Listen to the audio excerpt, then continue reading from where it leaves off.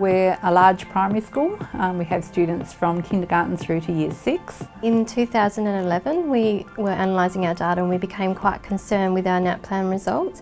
We um, identified that 30% of our students were falling below national minimum standard in both reading and maths. We wanted every child to reach at least a certain level.